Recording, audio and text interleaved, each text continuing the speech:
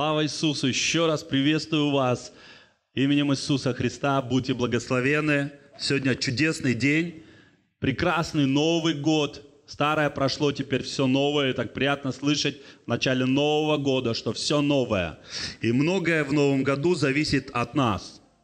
Если мы ждем, что принесет этот Новый год, то лучше не подходите с такой стороны. Кому-то он может принести очень нехорошие вещи. Но если мы настроены на Господа, и мы ожидаем нового, вот кто что ждет, тот то и получит. Прежде чем я буду проповедовать, я хотел бы сказать о том, что самое главное в жизни христианина – это огонь Святого Духа внутри. Это первая любовь к Иисусу. Друзья, как только мы теряем любовь к Иисусу, страсть, у нас все обыкновенно, у нас все по привычке – то мы теряем страсть. Нам это перестает быть интересным. Это перестает захватывать нас. Вы же не можете один и тот же фильм просматривать и просматривать и просматривать. Даже если вы пять раз просмотрели, вы же не будете его. Вы что-то хотите новое, что-то познать, да? Вот так же и в Господе. Если вы привыкли, вы думаете, что это фильм, это прочитанная книга, и вам он уже не интересен, Иисус не интересен, то это самый страшный переломный момент в жизни христианина – когда христианин уже не, не заинтересован самим Иисусом, у него нет страсти по Иисусу. Он не бежит к Нему, он не ищет Его, ему уже так сильно Иисус не нужен. Это самое опасное в моей жизни, то, что я за собой наблюдаю, это именно это. Такое бывает скатывание определенное, как бы назад как будто бы. И ты не то, что там грехи какие-то полез, ты просто перестаешь э, искать Иисуса, именно перестаешь им заинтересованным быть. У тебя уже по привычке молитвы, и молитва уже без огня. И поэтому такие молитвы, они не будут услышаны. Они не будут. Поэтому молитесь за себя, молитесь. Когда Иисус шел с крестом и нес крест, женщины плакали, видя, как Иисус, Он идет на крест, на смертную казнь, а Он повернулся к ним и сказал, не плачьте обо мне, а плачьте о себе и о детях ваших. Представляете? О себе, о своем состоянии нужно иногда задумываться. И Иисус, Он видел, что нужно об этом больше думать, сожалеть. Об Иисусе не надо сожалеть, потому что это был такой э, план Божий был, чтобы Иисус умер, пострадал нашей смертью. Вот то, что произошло с Иисусом, то, что Он взял на себя все грехи и всю боль, это должно было с нами произойти только в аду.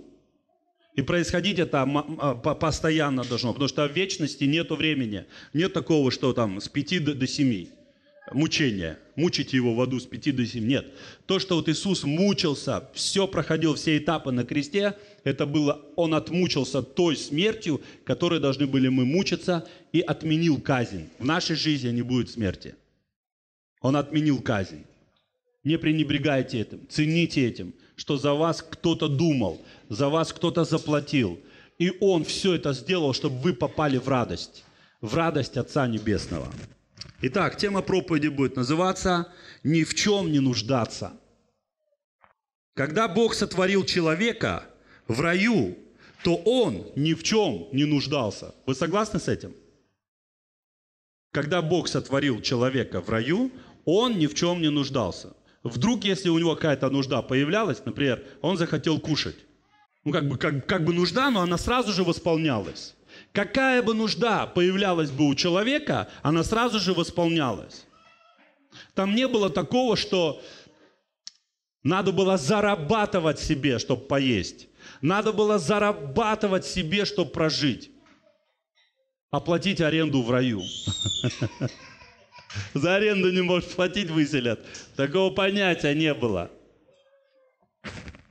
Пока человек жил с Богом, он ни в чем не нуждался. Это надо отметить. Пока человек жил с Богом, он ни в чем не нуждался. Нужда пришла после того, когда человек послушался змея. Когда человек послушался низшее творение – давайте вспомним, что Бог сказал сотворенному человеку, что Он дает ему власть над всею землею. Власть. И я думаю, что Адаму с Евой нужно было э, закрыть рот змею или выгнать его из рая вообще. Потому что ему дана была власть над всей землей, Адаму. Вот так же и нам. Нам дана власть в своей жизни. Но мы иногда не закрываем э, рот змею. И мы слушаем, что он говорит нам. И из-за этого приходит нужда, приходят грехи, приходят проблемы. С грехом приходит смерть. В 22-м псалме Давид написал, он провозгласил. И я не думаю, что он писал это в Библию. Когда Давид пел, это было естественно. И каким-то образом это попало в Библию, потому что Бог посчитал нужным записать эти слова, чтобы верующие читали, люди видели разницу тех, кто живет с Богом. И вы знаете, что он здесь пишет? Господь пастырь мой, я ни в чем не буду нуждаться. Пока Господь мой пастырь, я ни в чем не буду нуждаться. Почему? Потому что Он заботится обо мне.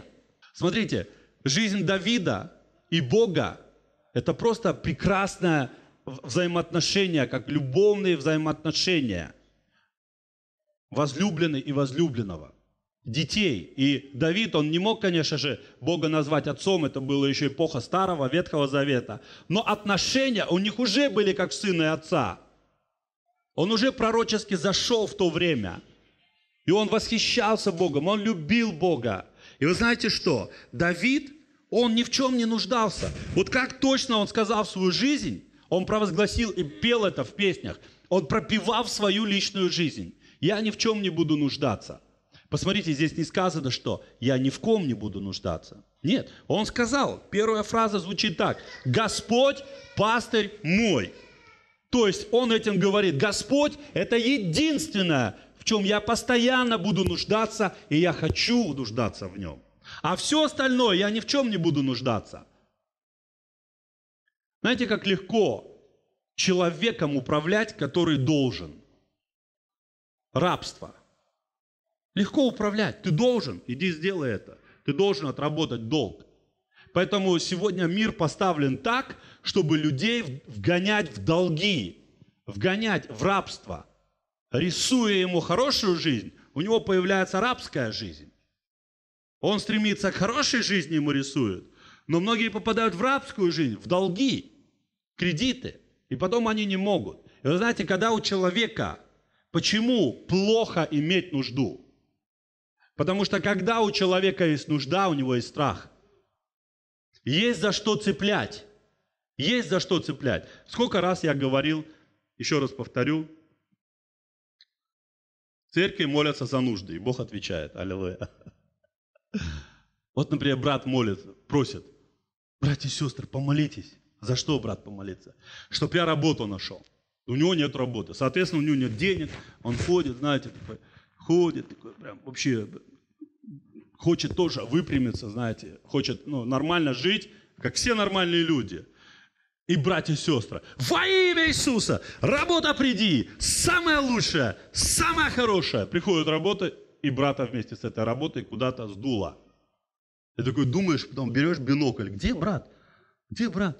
Брат, брат, ты где? О, вижу тебя на горизонте, что ты там делаешь? Я работаю, я работаю. Знаете, работы нету, Плохо. Почему? Денег нет, нет нечем платить. Есть работа хорошая, все, тоже нету. Почему? Потому что теперь надо зарабатывать. Теперь нету времени. Понимаете? И вот это хитрое сплетение в жизни, и мы тогда вообще не понимаем. Нету работы плохо, проклятие. Есть работа, но теперь не могу попасть в церковь, тоже проклятие. Поэтому важно, чтобы в нашей жизни Господь, Он заботился о нас. Чтобы Он благословлял, восполнял все наши нужды.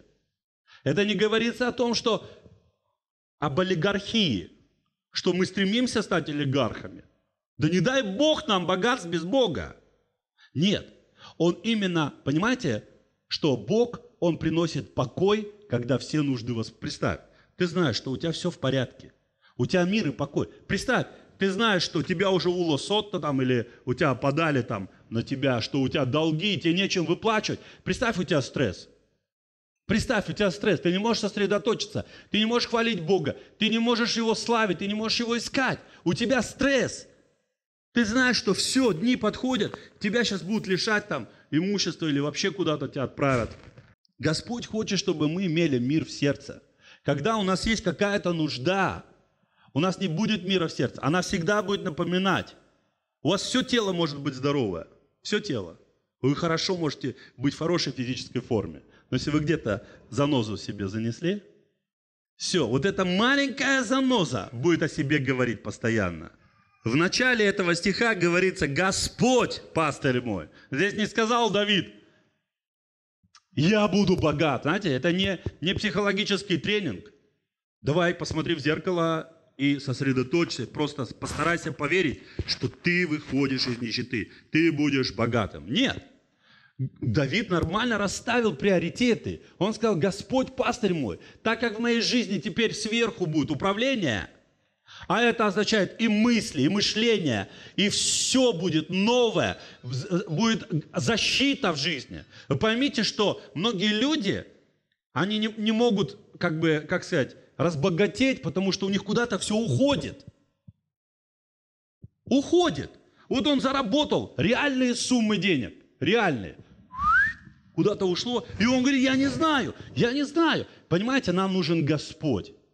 Не, не то, чтобы нам нужно зарабатывать больше, не просто нам нужна хорошая работа. Во-первых, нам нужен Господь, чтобы Он заботился о нас чтобы Он защищал нас, чтобы Он охранял нас, чтобы Он страховал нас. Вы что думаете, дьявол просто так позволит быть счастливым верующим, процветающим верующим, ходить и быть этой хорошей рекламой? Нет, он делает плохую рекламу. Он делает таких верующих, чтобы мир смотрел и думал, да не дай Бог мне таким никогда стать.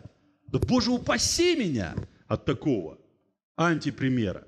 То есть дьявол пытается ис, ис, казить все. Он пытается нарисовать картину печальных, страждающих верующих. И действительно такие есть.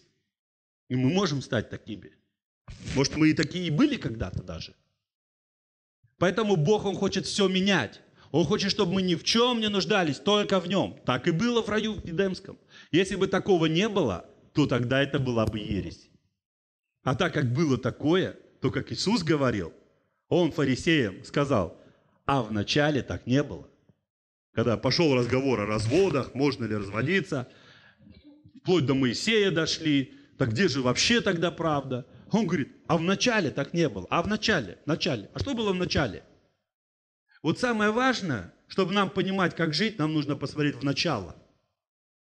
Хочешь посмотреть каталог, как бы ты жил сегодня? Ну, зайди, зайди в начало. Ты просто полистай. Это твоя жизнь. И Господь мне показал, что многие верующие живут во лжи и обмане. Например, вы страдаете, это ложь. Это ложь, которую вы приняли, и вы согласились с этим. Ваша жизнь совершенно другая. Ваша жизнь счастливая. По сценарию Бога вы должны проживать счастливую жизнь наполненную радостью, миром и еще другим людям помогать и заботиться, поддерживать, утешать. Но вы страдаете. Это ложь.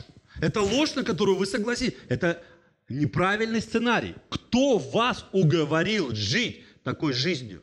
Жизнью страдания, жизнью нехватки, жизнью боли. Для чего Иисус перенес всю боль? И вы еще несете боль. Не соглашайтесь на такую жизнь. Вот почему сказано, что кто посмотрел в Писание, он увидел себя в Писании, а потом отошел и забыл, каков он. И забыл. Писание показало ему совершенно новую жизнь, что теперь не он живет, а Христос через него, что он может жить счастливой жизнью, наполненной жизнью. И никогда на твоем сердце кошки скрепстись не будут. Бывает такое, что человек достиг всего, чего хотел. У него есть продукты в холодильнике, у него есть все, у него есть все. И он все поел, все попробовал, во все оделся. А такая души, такая пустота, такое давление, томление духа, такое прям состояние, и он не знает, да что же это такое, все как бы нормально, как бы внешне, почему у меня такое внутри давление какое-то, просто нету настроения, у меня плохое. Потому что все это без Бога приобретено. Важно, чтобы в жизни нашей был Бог. Мы храм Святого Духа. Мы храм Святого Духа. От самого рождения. От самого рождения Иисус ни в чем не нуждался. Вот он родился, да, была атака. Реально была политическая атака на него, потому что это э, было сказано царю, где родился царь иудейский. Царь – это означает, ну, правитель, император, президент. И где родился, понимаете? И его это очень сильно смутило, потому что он же понял, что сейчас ему надо будет тогда уйти, если родился царь. И пришли не просто какие-то, знаете, колхозника три, пришли мудрецы с Востока, очень образованные умные люди. И говорят, где родился? И тогда началось движение, шумиха, поднимать стали архивы, Библию, там Тору, все искать, как, где, откуда он придет. И все знали, что он должен прийти, должен родиться Мессия. И теперь он слышит свой адрес, что где родился, он уже родился. И у него паника. И он пытается убить Иисуса. Он пытается вырезать всех детей, чтобы он, потому что он не знает, кто этот ребенок. От него это сокрыто. От дьявола сокрыта эта информация. И он начинает всех детей от нуля до двух лет вырезать в Израиле. Всех детей. Но Иисус ушел. Ангел его сохранил. Господь его сохранил. Эти дети, которые не родились, они получат великую славу на небесах.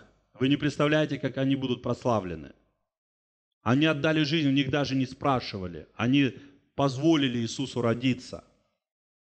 И вы знаете, что от самого рождения, несмотря на то, что была атака осуществлена на Иисуса, он ни в чем не нуждался. Потому что волхвы принесли ему золото, ладан и смерть. Золото. Почему золото? Потому что он царь. Он ни в чем не нуждался.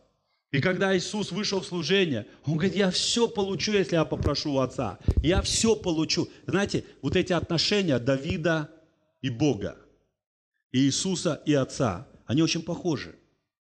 У них все было в порядке. И поймите, что не нуждаться ни в чем, это не означает, что у тебя карманы набиты золотом. Ты полноценен. У тебя нету стресса и у тебя нету страха все покрыто. Ты знаешь, что если что-то откуда-то придет, Отец сразу позаботится и покроет. Вот какая жизнь у нас должна быть. На, на земле должно быть так же, как и на небе. Почему? Мы молимся этой молитвой. Воля Твоя да будет на земле, как и на небе. На небе нет нужд. На небе нету страха.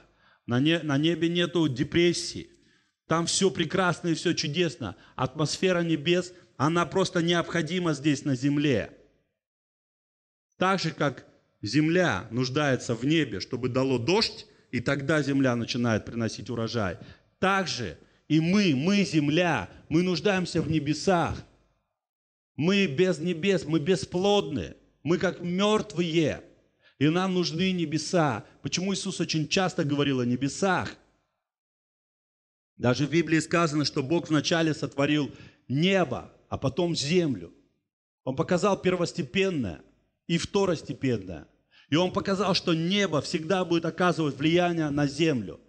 Есть ли у нас желание, чтобы небеса оказывали непосредственное влияние в нашей жизни, чтобы мы знали, что мы живем по воле Божьей. Представьте, такой человек ничего не будет бояться, если он сто процентов знает, что он живет по воле Божьей.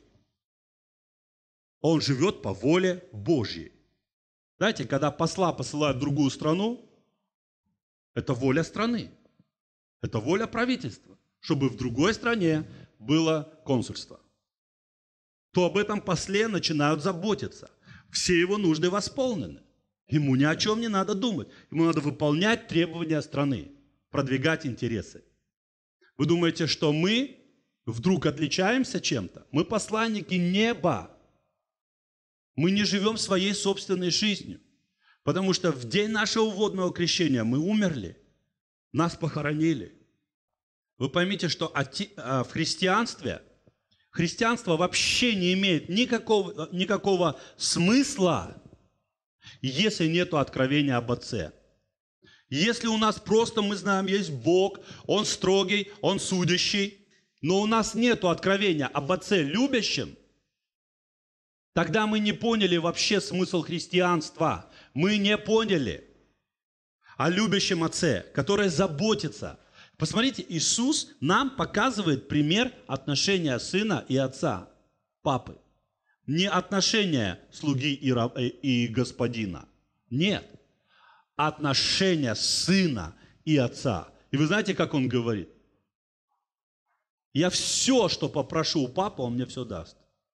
Все, что я попрошу у папы, он мне все даст. Все, в чем Иисус нуждался, почему Иисус пошел по воде? Потому что лодка уже отплыла и была на середине. Вот почему Иисус, отец говорит, тебе не нужна лодка. Мы иногда думаем узко, мне нужно вот это, мне нужно вот это. А отец тебе дает вообще просторы. Он тебе дает намного больше и шире.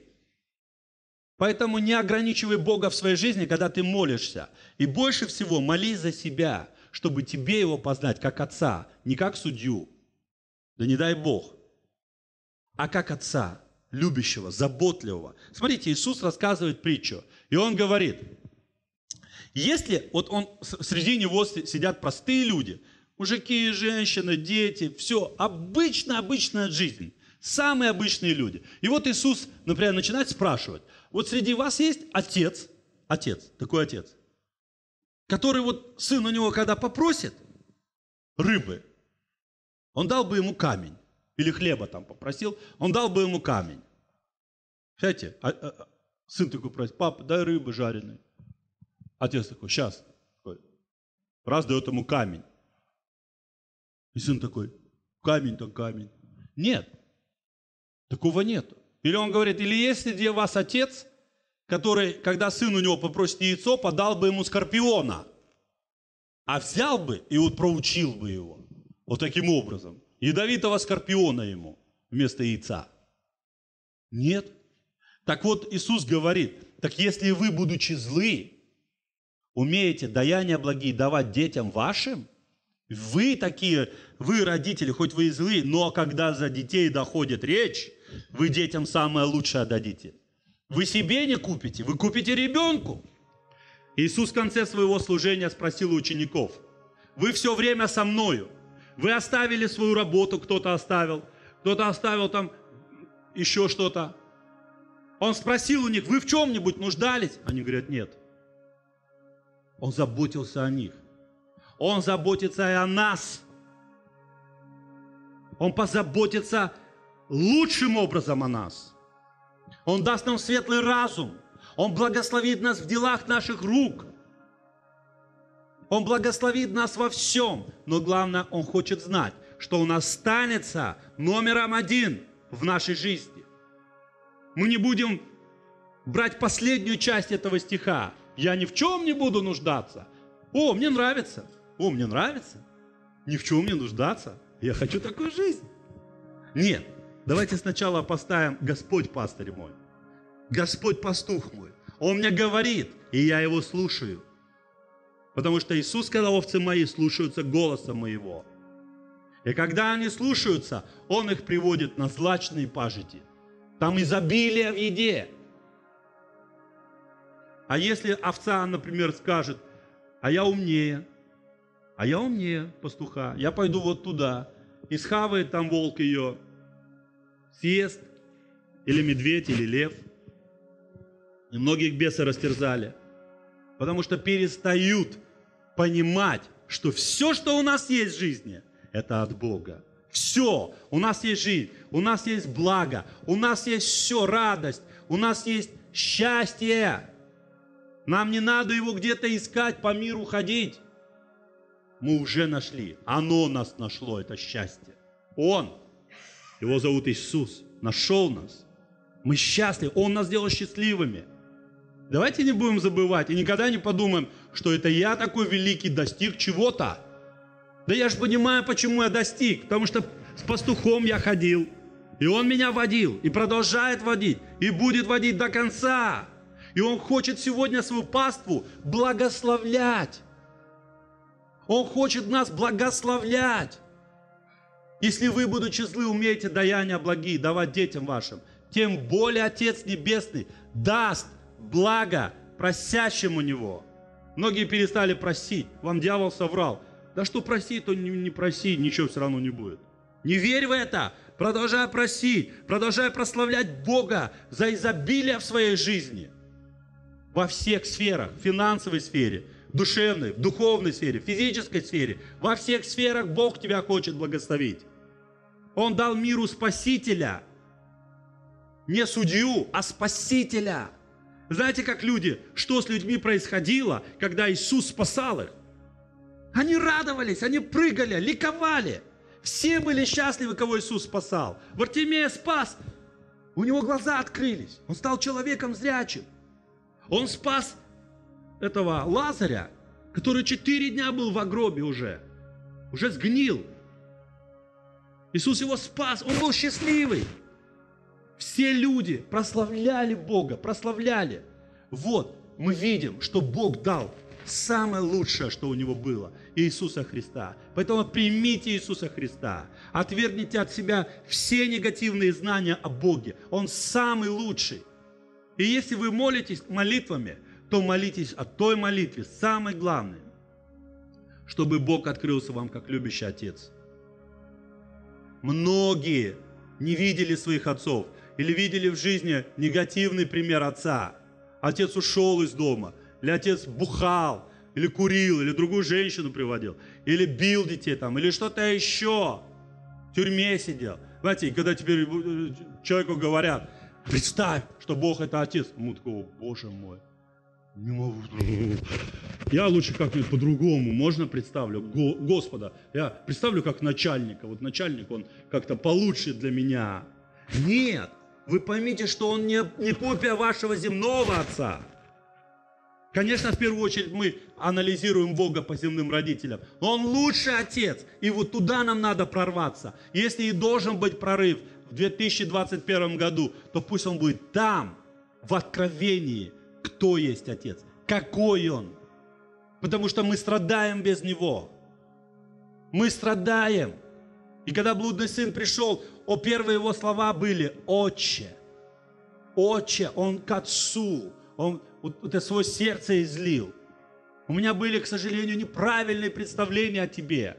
Я, я похоронил как будто бы тебя, я вычеркнул тебя из своей жизни. Я думал, что я справлюсь сам. А я стал бомжом. Понимаете? Вот нам вот в этой молитве нужно обратиться к Богу.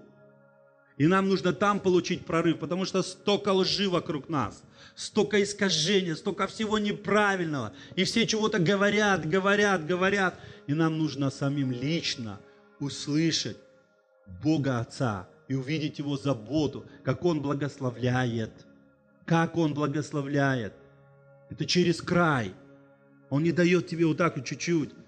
Он тебя через край утрамбовывает, еще дает. Утрамбовывает твою чашу, еще дает. чаша моя преисполнена, через край льется. Пусть это придет в твою жизнь. Если мы смиренные люди, мы получим благодать. Потому что Бога невозможно умом понять. Бог не математика, не физика. Его невозможно математически вычислить. Его невозможно физически или химически доказать. В Него можно поверить и пережить. И многие из нас здесь стоящие пережили Бога. Вот почему мы верим.